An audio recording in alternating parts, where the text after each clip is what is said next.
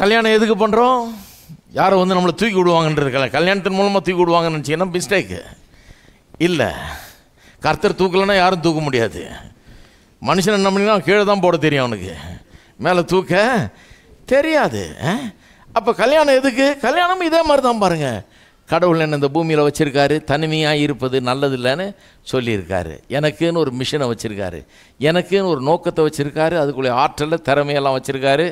வாய்ப்புகள்லாம் கொடுத்துருக்காரு. இதை நிறைவேற்றுறதுக்கு கல்யாண ஏஜ் வந்தோடனே எனக்கு ஒரு துணை ஒன்று தேவைப்படுது. கடவுள் எனக்காக வச்சிருக்கிற நோக்கங்களை நான் நிறைவேற்ற வேண்டுமென்றால் எனக்கு ஒரு வாழ்க்கை துணை அவசியம். அந்த துணை வந்து என்ன கடவுள் எதுக்காக உண்டாக்கியிருக்காரு எனக்குள்ளே என்ன வச்சுருக்காரு என்ன எதுக்காக அழைச்சிருக்காருன்றெல்லாம் புரிஞ்சுக்கிட்டு என்னோடு நின்று எனக்கு பக்க பலமாக இருந்து நானும் எனக்கு கொடுக்கப்பட்ட துணையும் சேர்ந்து கத்தருடைய நோக்கங்களை நிறைவேற்ற அப்போ எப்படிப்பட்ட பொண்ணு தேடணும் நான்?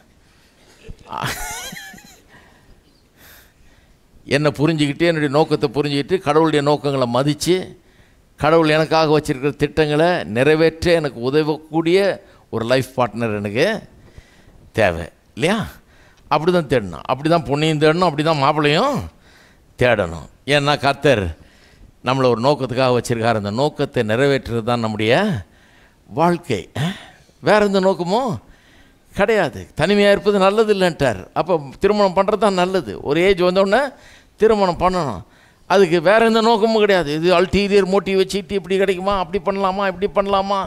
ஏ, இது இதெல்லாம் இந்த கணக்கெல்லாம் தப்பாக போயிடும் கடைசியில். நம்ம ஒரு கணக்கு போட. எல்லாம் கடைசியில் பரீட்சை எழுதி மார்க் வந்த மாதிரி ஜீரோன்னு வரும் கடைசியில். கணக்கு தப்புன்னா ஜீரோ தான் கிடைக்கும்.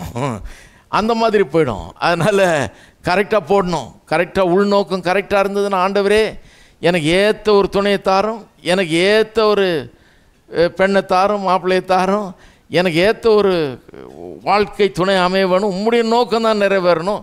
உமக்காக நான் வாழணும் எனக்காக என்னை எதுக்காக பிறக்க வச்சீரோ எனக்கு எதுக்காக தாளந்தெல்லாம் கொடுத்தீரோ அதை நிறைவேற்றுறதுக்கு எனக்கு துணை ஒரு ஆள் வேண்டும்னு சொல்லி அப்படித்தான் தேட வேணும்.